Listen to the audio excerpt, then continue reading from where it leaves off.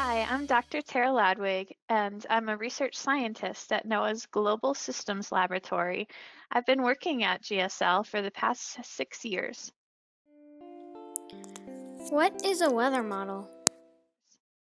I want to tell you a little bit about weather models. So weather models are a way for us to represent what's going on in the atmosphere. So first we need observations. We can think of things like measuring the temperature and measuring the moisture in the atmosphere, measuring the winds.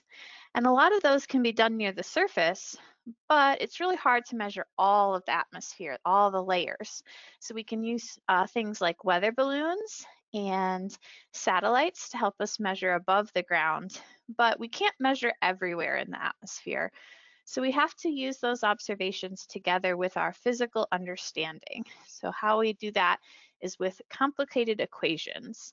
So there are math and physics involved, and we use something called the equations of motion. But the idea is really that we're trying to fill in those gaps between the observations of what's happening in the atmosphere. And we use all those data together in computer software on really big computers so we combined all of the observations and we combined the equations and then we try to step it forward in time to see what's going to happen next to make predictions. The results of a weather model is a lot of information. We can see different variables, so the temperature or the winds, or even uh, more complex fields like the, what precipitation is going to fall or how much smoke there might be in the atmosphere. And all of this data can be used to help different forecast applications. So some forecasters are trying to tell us, uh, the public, what to what the weather will be like, and others are really focused on uh, particular events. Say maybe some low clouds that could cause uh, airport delays, or some heavy rains that could cause uh, floods and uh, be important for hydrology applications, maybe for how much water farmers get. At GSL, we work with the National Weather Service to make our models better.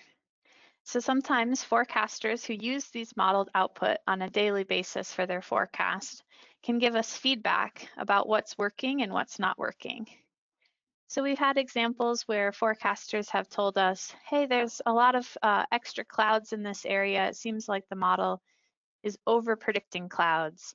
And we used that to direct our cloud research on, on how we could make the model better and use our observations more, more accurately to improve the model.